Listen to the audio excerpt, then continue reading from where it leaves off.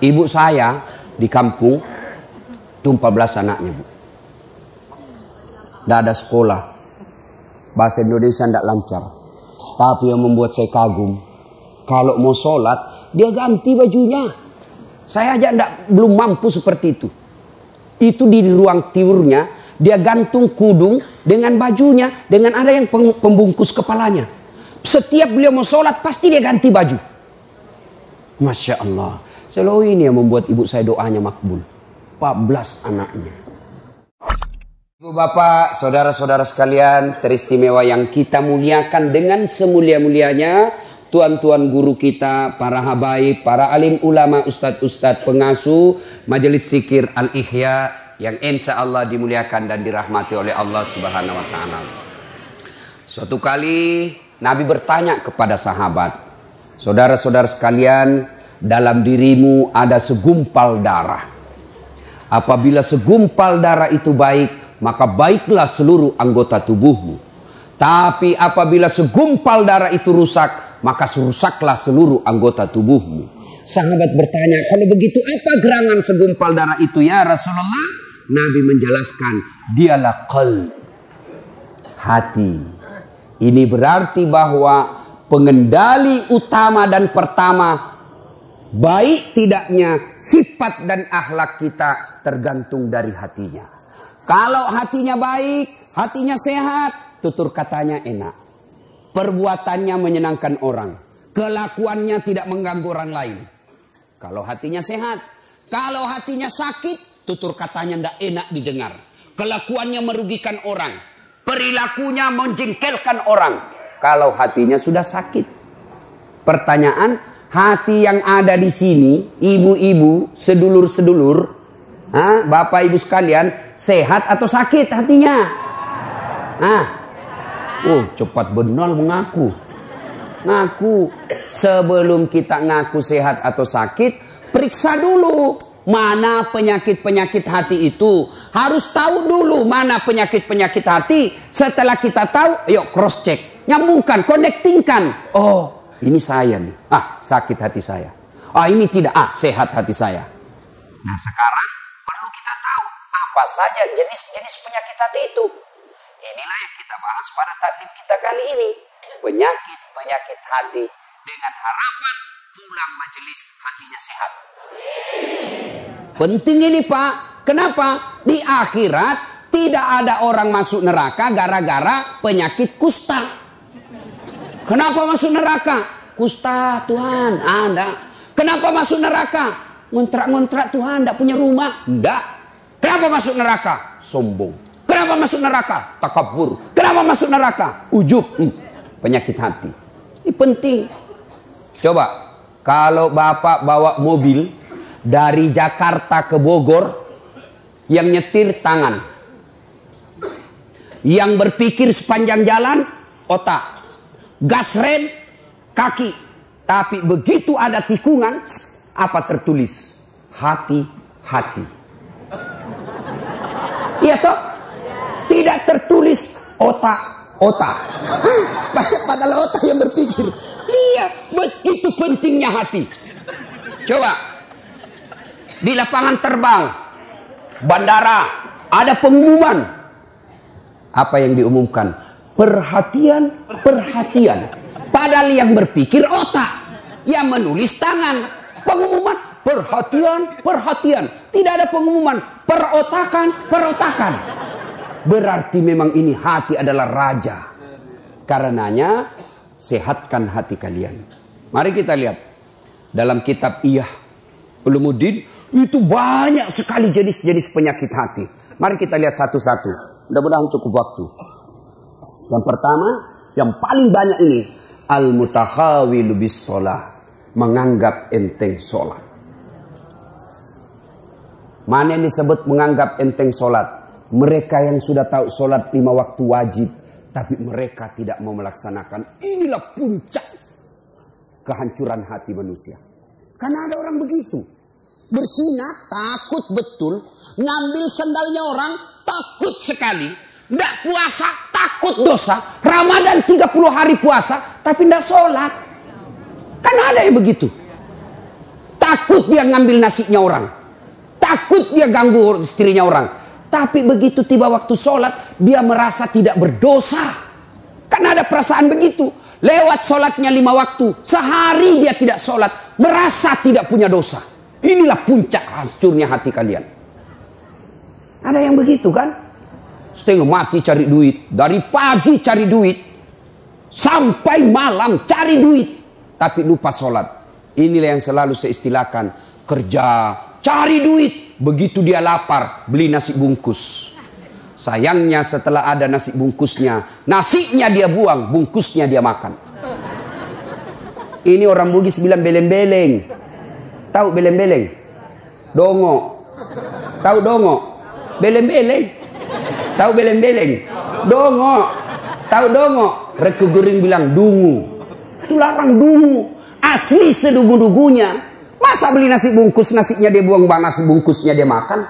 Inilah orang yang setengah mati cari nafkah. Berpolitik siang malam. Berusaha siang malam. Ngajar siang malam. Cari harta siang malam. Lupa sholat. Beleng-beleng. Dungu. Apa sebab orang biasa tidak sholat? Mohon maaf. Punten, punten. Ibu-ibu paling banyak tidak sholat kalau ada pesta pengantin. Gara-gara apa? Make up. Mukanya dikira tembok. Kuning, coklat, abu-abu, biru. Oh, beleng-beleng. Itu biasa saya kasihan lihat itu ibu kalau ada pengantin. Mukanya betul-betul kayak tembok. Serba palsu. Bibirnya merah palsu. Alisnya tebal palsu. Bulu matanya panjang palsu. Oh, pantatnya gabus. Semua palsu. Malah ada lagi lebih gila lagi saya lihat. Dia kasih lebih alisnya. Saya bilang kenapa dikasih lebih? Dia bilang seperti seperti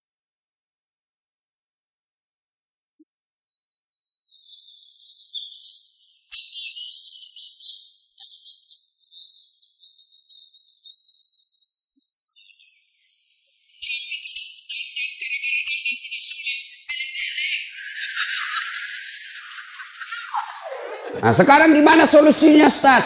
Nah, ibu wuduk dulu. Sudah wuduk, dandan. Sudah dandan, tahan kentut. Biar sudah wuduk, kentut batal. Dah habis ke Ustaz sedikit aja keluar. Biar sedikit batal. Coba. Dua. Yang menyebabkan ibu-ibu banyak tidak sholat kalau ada pengantin. Apa? Jilbab. Saya ini sudah keliling-keliling ceramah sampai ke Malaysia, Timur Tengah, Brunei, Filipina Selatan. Ini hanya di Indonesia yang ibu-ibunya susah jilbabnya. Jilbab sakaratil maut. Masya Allah. Itu ada talinya tuh 2 meter. Dia ikat dulu. Dia ikat di lehernya. 2 meter dikasih kembang. Hah? 17 pentulnya. Eh, ada kayak batang pohon di belakang. Sudah, Gak bisa lah dia goyang lehernya. Ah, ah. Eh, sudah diikat. Coba. Ayo. Pakai lagi jilbabnya yang sempit. Celana roknya sempit. Suaminya bilang, eh, cepat-cepat, buru-buru kita ketinggalan. Tunggu sedikit pak. Ini namanya belen-belen. Tiba waktu sholat. Hayalah sholat. Suaminya bilang, bu, bu, baru aja kau pulang umroh. Itu baru dua bulan yang lalu kau pulang umroh. Ini sudah mau asar kau belum sholat duhur. Sana pi sholat. Apa kata istrinya? Sadar kau pak. Saya sadar saya suruh kau sholat. Kau ndak lihat ini jilbabku. Dua jam makainya ini. Nah, beleng-beleng. Sudah ya? Bu, yang paling banyak perempuan ndak sholat kalau ada pesta. Ini kalau laki-laki kapan banyak ndak sholat? Ada pila champion. Eh? Subuh ndak sholat subuh. Gara-gara sepak bola. Begitu nonton dari jam 2, seri adu penalti. Bersamaan azan subuh. Pilih mana Pak? Bapak pilih mana? Pergi sholat, ketinggalan gol. Nonton, ketinggalan sholat. Akhirnya apa? Diambil sajadahnya, sholat depan televisi. Ini lebih beleng-beleng. Ayo. Hmm. Demi Allah. Apa alasan orang biasa tidak sholat? Ustaz, saya kaya Ustaz. Dia kaya aja dia tidak sholat. Ada yang kalah kayanya Nabi Sulaiman? Ada yang kaya Nabi Sulaiman? Nabi Sulaiman itu pekarangan rumahnya emas. Ada di sini pekarangan rumahnya mas. Paling kalau orang Bugis kalau paling kaya giginya dikasih emas. Coba. Dia cakep Ustaz. Ada yang kalah Nabi Yusuf? Ayo. Tuh cakepnya Nabi Yusuf. Bayangkan. Bayangkan cakepnya itu manusia. Ibu-ibu disuruh ngiris-ngiris bawang. Suruh lewat Nabi Yusuf. Seperti Pragawati. Yang kalau di atas apa itu? Ah, catwalk. Ah, lewat Nabi Yusuf. Ini ibu ibu, Masya Allah, ini bukan manusia ini, bu, cakep betul. Tidak sadar, dia iris tangannya, dia tidak rasa begitu terpesonanya dengan mukanya Nabi Yusuf. Segagah-gagahnya Ustaz Dasad. Jangankan ngiris bawang, kentut aja hilang perhatian. Coba, gagahnya Nabi Yusuf, tapi tetap taat beribadah kepada Allah.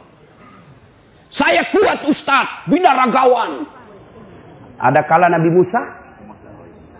Nabi Musa itu bu, kalau dia kunci badannya, tembus itu bulu-bulu di bajunya. Kalau dia kunci badan, terlempar songkoknya. Kalau dia tinju orang, belum sampai tinjunya sudah jatuh itu musuhnya. Ini orang Bugis bilang karate do, karate campur doti. Doti itu magic. Coba. Hebat. Saya cerdas Ustaz. Ada yang kalah cerdasnya Nabi Nuh. Sampai detik ini tidak ada orang arsitek bikin perahu di atas gunung. Mau semua mereka bikin perahu di pesisir pantai. Nuh alaihissalam di atas gunung bikin perahu. Cerdas, tidak sombong, tetap sujud beribadah kepada Allah. Apalagi? Hah? Hah? Ada apa? Apa alasanmu lagi? Hah? Tinggi pangkatnya Ustaz. Ada yang kalah pangkatnya Rasulullah Muhammad SAW. Beliau adalah penghulu para nabi penghulu para nabi. Kekuasaannya waktu itu bukan cuma Makkah Madinah, sebagian dunia itu taklukan Islam waktu itu dibawa kekuasaan Rasulullah Muhammad SAW. Apa yang kita mau alasan tidak mau sholat? Jelas. Hah? Demi Allah, tidak ada keselamatan bagi mereka yang menganggap enteng sholat. Ustaz, saya ini merantau Ustaz dari Sumatera. 30 tahun sudah saya di Bogor Ustaz. Tidak bisa lepas dari kredit. Rumahnya susah. Masih ngontrak-ngontrak Ustaz. Periksa sholatmu. Anak saya nakal betul Ustaz. Periksa sholatnya. Kalau sholat baik, mustahil Allah sengsarakan hidupmu. Tuhan apa yang bikin sengsara hidupnya orang yang baik sholatnya? Saya sholat Ustaz. Betul kamu sholat. Tapi Barusan duhur. Ah, kok tidak ikhlas, Bos? Ayo. Ayo.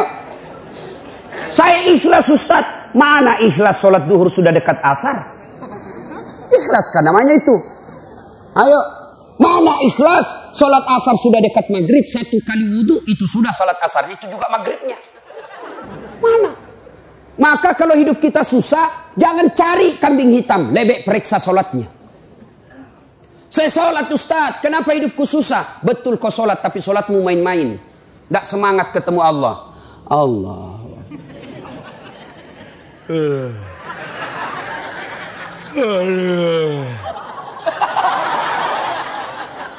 Siratul. Ada yang sholat seperti itu. Ada. Sholat kayak ditiup angin. Allah.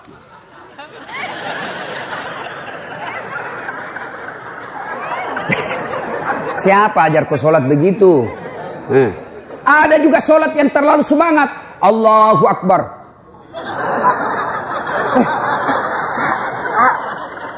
Eh. Ibu ketawa karena membayangkan diri sendiri lah. Makanya kalau ada masalah dalam hidup, ayo pertama yang harus kita selesaikan sempurnakan sholatmu bos. Saya sholat Ustadz, betul ibu sholat. Tapi ibu yang pakai baju sholat sudah tiga hari tidak dicuci. Ketemu Allah pakai daster. Tinggi sebelah lagi. CD-nya dua hari tidak dicuci dipakai. Begitu sholat gatal semua. Siapa ngajar sholat seperti itu? Nah, ayo ya, mulai hari ini koreksi sholatnya bu. Ibu saya di kampung itu 14 anaknya bu.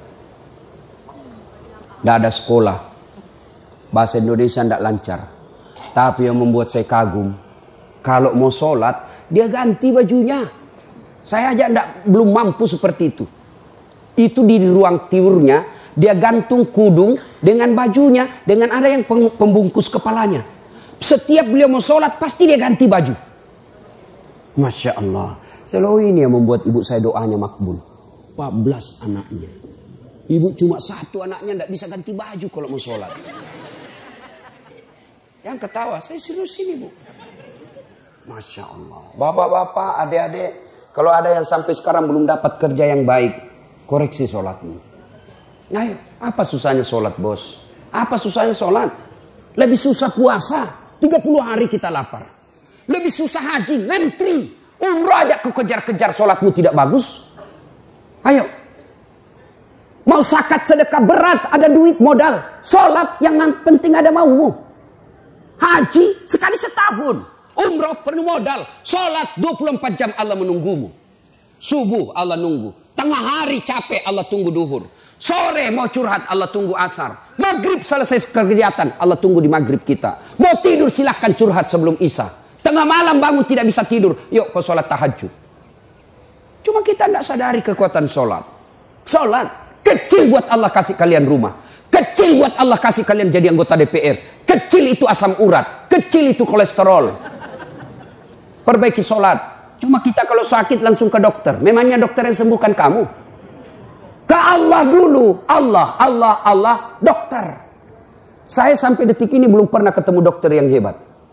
Kenapa? Begitu saya ke dokter, saya juga yang kasih tahu penyakitku. Assalamualaikum Ustaz. Waalaikumsalam dok. Kenapa Ustaz? Ini mencret-mencret saya dok. Kenapa bisa? Dalam matiku ya urusanmu. Karena kau dokter. Masa saya yang kau tanya? Allah tanpa bapak beritahukan, ibu beritahukan, Allah sudah tahu penyakitnya ibu. Yang dokter hebat itu baru muncul, pasti menceret Ustaz. Ah itu hebat itu. Dokter tidak. Iya. Maka bapak ibu sekalian, perbaiki sholat. Nah, itu tetangga saya Ustaz, tidak sholat. Tapi kok rezekinya baik. Proyeknya lancar. Oh jangan salah. Memang duitnya banyak. Mobilnya mewah, rumahnya megah. Tapi apa yang ibu bapak tidak tahu? Istrinya selingkuh, suaminya membalas. Banyak kita lihat orang kaya, tapi menderita batinnya. Duitnya banyak, dihormati di kantor, dimuliakan di kantor. Tapi sampai di rumah aja dilempar piring sama anaknya masih SMP. Itu sudah banyak duitnya, tapi tidak ada kebahagiaan rumah tangganya. Banyak duitnya, tapi tidak ada bisa dia makan. Duitnya 7 miliar, tapi dilarang makan nasi. Apa enaknya? Dilarang makan nasi. Dilarang makan karedok. Apa? Yang bisa dia makan hanya ubi rebus. Duit 7 miliar cuma ubi rebus. Pret. Ya, maka Bapak Ibu, adik-adik, jangan galau, perbaiki sholatmu. Saya bisa bicara begini, saya alami. Demi Allah, saya pernah menjadi cleaning service. Bersihkan toilet triple terkenal di Makassar waktu itu. Empat toilet saya harus bersihkan tiap hari. Saya bilang sama koordinator kebersihan, tidak usah gaji saya. Kasih masuk namaku undian umroh kalau ada gratis. Sampai tutup itu kantor, tidak dapat. Saya pernah menjadi loper koran. Loper koran. Selesai salat subuh saya bawa nih sepeda itu langganan harian fajar di Makassar. siapa yang curi. Mengajar itu kalau saya dapat itu saya lapor di KPK. Masya Allah. Hai, saya sering jalan kaki pergi sekolah. Saya pernah dihina kawan saya waktu kuliah. Keluar dari ruangan kuliah. Dia tunjuki saya, eh Dasat, tidak malu-malu kau, cakar semua bajumu. Cakar itu rombengan. Nah, tahu, baju bekas yang dari Eropa dijual, Seratus ribu kalau di matahari seratus ribu satu. Ini sepuluh ribu empat masih ditawar. Coba bayangkan. Saya tidak marah. Biiznillah dengan izin Allah. Saya istiqomah pelihara sholat dengan sebaik-baiknya. Alhamdulillah dengan izin Allah, saya sudah punya travel sendiri. Kapan saja saya mau umroh bisa, dengan izin Allah. Kalau kawan saya dulu yang hina saya kata pakai baju cakar. Alhamdulillah sekarang Ramadan baru-baru saya kasih lagi sakat. Coba. Terus saya jalan kaki dulu. Alhamdulillah punya kendaraan yang jarang seperti itu di Makassar. Alhamdulillah dengan izin Allah. Apa susahnya Allah kasih kamu rumah? Apa susahnya Allah kasih lunas utangmu? Kecil buat Allah. Yang penting sholat men, sholat. Perbaiki sholatmu, Allah yang selesaikan utangmu. Adakah manusia tidak ada masalahnya di dunia? Hah? Ini malah ibu-ibu penuh masalah saya lihat mukanya ini. Mana ada manusia tidak ada masalahnya? Semua punya masalah. Ustadz, ibu pikir tidak ada masalahnya? Masalah saya besar. Mau kawin lagi tapi takut sama istri. Semua punya masalah. Alhamdulillah Allah tidak berkata, Dasat kalau ada masalahmu kau jadi anggota DPR dulu.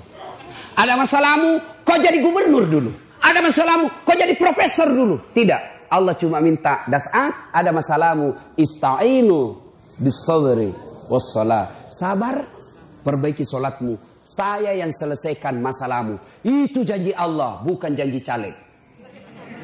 Oh, kalau caleg dijanji anda boleh kita dijanji sorga, dijanji juga kita sorga. Nih, nih kartu namaku, pilih saya. Ada masalahmu, punten, hubungi saya, sama-sama Sunda. Pilih, begitu terpilih dia ganti nomor HP-nya. Ini manusia, tapi kalau Allah, ayo dek, ada masalahmu, perbaiki sholatmu. Ya, teman setan yang pertama nganggap enteng sholat. Apa akibat dan hukuman bagi mereka meninggalkan sholat? Dan waktu kita bahas.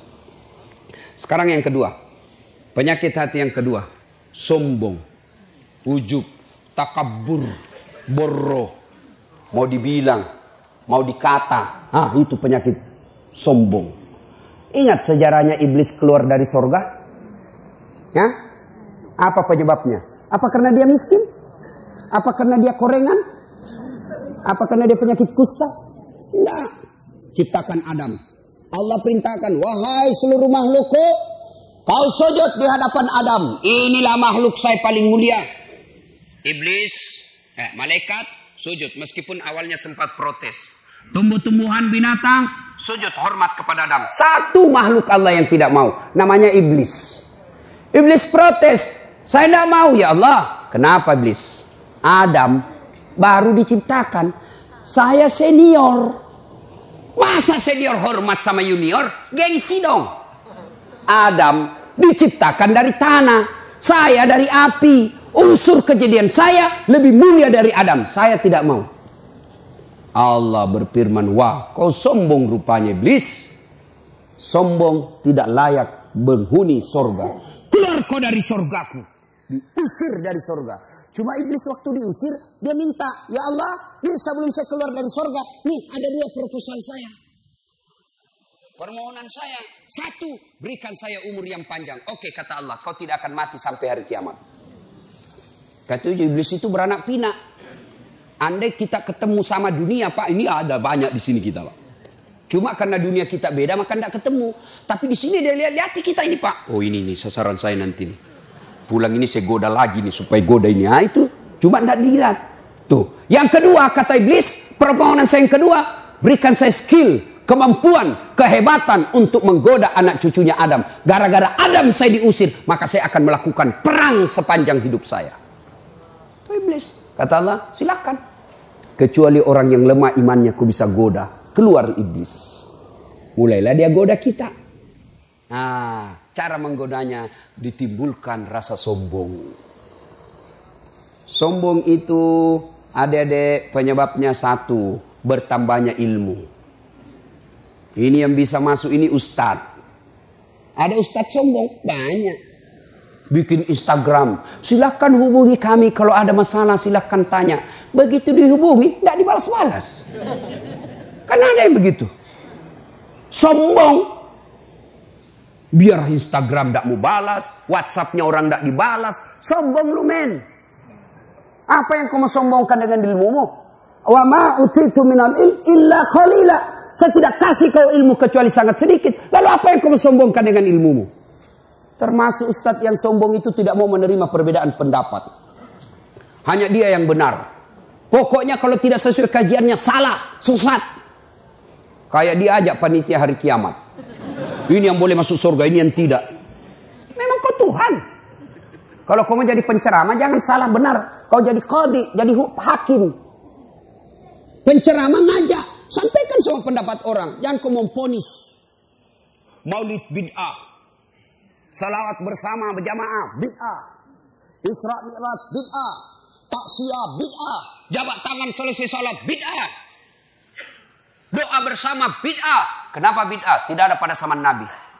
Tidak ada pesan Nabi, bid'ah, bid'ah, sesat, sesat, masuk neraka. Masa gara-gara dengar ceramah begini kau bilang kita masuk neraka? Nenekmu punya neraka. Masih masuk kita juga surga, kan luas itu surga, muat semua kita di sini. Kalau alasanmu tidak ada pada zaman Nabi, kau ceramah jangan pakai mic. Kan tidak ada pada zaman Nabi. Kan kita ceramah. Tidak boleh pakai mic. Karena mic. Mana? Beda ini, beda. Tidak boleh pakai mic. Tidak boleh. Apa? Maaf, gimana caranya? Makanya. Ayo. Teman-teman pemuda hijrah. Allah sudah menyambut kedatanganmu. Tapi Allah tidak senang kalian sombong.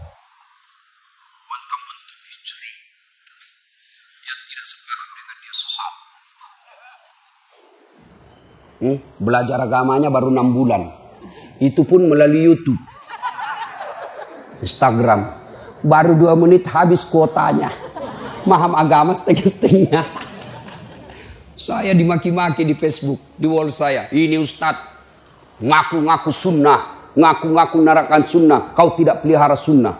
Kenapa kau bilang saya tidak pelihara sunnah? Buktinya kau tidak pelihara jenggot. Ya mau diapa kalau tidak mau tumbuh? Gara-gara jenggot dia marah-marah sama saya. Saya sudah kasih minyak malah gatal. Dia bilang istri saya, bau betul itu kau punya mulut. Bukan mulut minyaknya. Sudah. Ya. Ada. Semua dianggap salah. Dalam yang paling enak beragama itu Pak. Yuk yakin begitu. Laksanakan itu yang kau punya keyakinan. Jangan kau salahkan saya. Saya selalu pakai istilah untuk menuju Allah itu sepuluh kau dapat dari mana. Untuk datang kepada Allah, lagu Rome Rama banyak jalan menuju Roma. Ya, kalau saya jangan memahami dekat dengan Allah itu, jangan pertanyaannya 10 tambah 10 sama dengan berapa. Pasti jawabannya hanya satu. 10 tambah 10 sama dengan berapa? 20. Tidak bisa pilihan lain. Tapi cara mendekati Allah itu 20 kau dapat dari mana? Boleh 10 tambah 10, boleh 21 kurang 1, boleh 19 tambah 1, boleh 15 tambah 5. Ah ini enaknya kalau kita begini. Ini hanya dia yang benar. Semua salah. Ya, jangan sombong. Apa kau sombongkan dengan ilmu? Ada orang banyak betul ilmunya. Allah marah, mulai dikasih pikun. Pikun tidak ada obatnya. Selama ini dia mengajar, diprotes sama istrinya. Pak, biasanya kalau kau mau mengajar, kau cium-cium jidatku. Ini sudah hampir dua minggu, tidak pernah kau cium saya. Langsung dia bilang suaminya, astagfirullah. Berarti siapa kau cium selama ini? Ternyata pembantunya. Mau sombong? Pikun kau tidak bisa bedakan istri pembantu. Jangan juga modus. Teman-teman dengar ceramah ini besok dia masuk kamar pembantu. Didapat sama istrinya, kukira kamu sayang. Jangan sombong dengan ilmu. Ya, pintu masuknya setan sombong. Yang kedua, apa nyebab sombong? Hah? Bertambahnya pangkat jabatan. Kan sombong. Anggota DPR, jangan sombong. Kau jadi anggota DPR karena rakyat memilihmu. Hah? Jadi bupati jangan sombong. Kau jadi bupati karena rakyat milih. Tidak pilih. Wabillahi taufiq hidayah. Keluar kau jadi rakyat biasa. Apalagi menyebabkan orang sombong. Bertambahnya harta. Jangan sombong. Nanti kau seperti korun. Banyak duitnya. Takabur. Tenggelamkan oleh Allah. Belajar dari Palu. Belajar dari Donggala. Aceh. Sekejap saja hancur. Jangan sombong. Apalagi membuat orang sombong. Bertambahnya ibadah. Yang tadinya malas sholat. Uh sekarang sholatnya bagus. Bukan cuma lima waktu. Sunnah. Sunnahnya pun oke. Okay. Mulai sombong. Jangan. Allah senang orang yang alim. Tapi Allah tidak senang orang yang sombong. Puncak kesombongan. tidak mau sujud di hadapan Allah. Dalam hadis kutsi Allah jelaskan, ada tiga temannya setan di dunia. Satu di antaranya, ganiyun, mutakabbir, orang kaya yang sombong. Kaya harta sombong temannya setan. Kaya ilmu ilmuwan sombong temannya setan. Kaya pangkat pejabat temannya setan. Tapi masih masuk akal. Orang masih ya wajarlah dia sombong, dia wali kota. Wajarlah dia sombong, banyak duitnya. Wajar dia sombong, tinggi ilmunya. Tapi temannya setan. Masih wajar. Tapi ini sudah miskin, pengangguran, jelek bukanya, bau keteknya, sombong lagi. Bukan kau temannya setan, kau sudah jadi setan cilaka. Salatullah, salamullah, ala toha rasulillah, salatullah,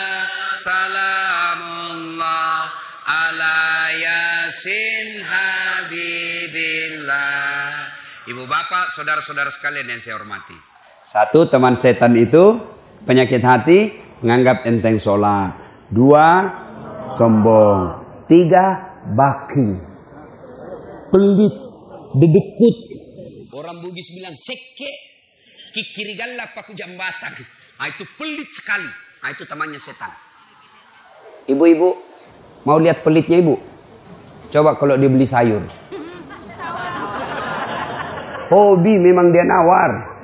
Kalau dia ke pasar, beda seribu, dia kelilingi tuh pasar. Beda seribu tuh dia kelilingi. Bu, halo ibu. Bu, kalau ibu belanja di Trans Studio, Trans Mall, atau Alfamidi, Alfamart, tawar apa tidak? Tawar apa tidak? Coba kau tawar dibilang ke orang gila.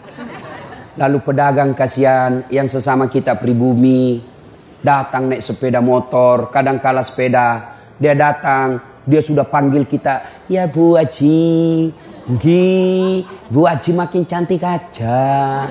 Masih nawar. Apa namanya kalau bukan pelit? Sudah enaknya itu. Berapa mas? 10 ribu Bu Haji. 11 ribu ya. Ah. Mantap. Kalau kan ibu-ibu yang suka nawar. Kalau bapak-bapak kan tidak suka nawar ya. Ini ibu-ibu tuh suka betul nawar. Bu, ibu bersedekah itu tidak mesti masuk masjid. Sedekah dengan niat. Mas, berapa mas? 15 ribu. 13 ribu ya mas? 15 ribu. Oke, saya bayar 15 ribu. Tapi dalam hati ibu, sebenarnya saya beli 13 ribu. 2 ribunya saya sedekahkan untuk mas. Boleh. Jangan terlalu pelit. Ibu mau ndak suaminya diambil orang? Mau? Ah, silakan pelit. Orang pelit itu tidak ada yang suka. Bahkan orang pelit sekalipun tidak suka sama orang pelit. Benar pak. Begitu jeleknya itu sifat pelit. Tidak ada yang suka. Coba saya tanya. Bapak-bapak senang tetangga dermawan atau pelit? Ibu-ibu senang suami yang pelit atau dermawan? Senang mantu yang pelit atau dermawan? Teman-teman yang pelit atau dermawan? Dermawan, tidak ada orang suka orang pelit. Bahkan orang pelit pun tidak suka sama semuanya pelit. Jangkau ke rumahnya, pelit dia itu. Padahal dia juga pelit. Begitu jeleknya itu sifat pelit. Demi Allah, tidak ada orang bangkrut gara-gara sedekah. Adakah pernah Bapak dengar? Mas, mas, mas, tuh yang di sudut rumah di komplek, tuh kaya betul dulu Ustaz. Cuma karena dia rajin sedekah, bangkrut. Ada? Tidak pernah. Biasa kita ini sangka buruk kepada Allah. Tidak mau bersedekah karena sangka buruk. Nanti saya makan apa? Nanti saya makan apa? Jangan cemas rezeki. Jangankan diambil orang. Tertukar saja tidak. Cica aja dijamin rezekinya. Tahu Cica? Tahu? Cica makan apa ibu? Masuk akal enggak? Enggak masuk akal. Gimana caranya? Satu di dinding, satu terbang. Gimana ketemu? Enggak ada terminalnya. Kalau pesawat terbang, kita jalan, ada ketemunya di mana? Di bandara. Ini cicak satu terbang, satu di dinding. Di mana ketemunya? Tapi lagu kita waktu kecil kan cicak, cicak di dinding, diam, diam merayap. Datang seekor nyamuk, nyamuk yang datang. Kamu yang datang. Allah jamin rezekinya.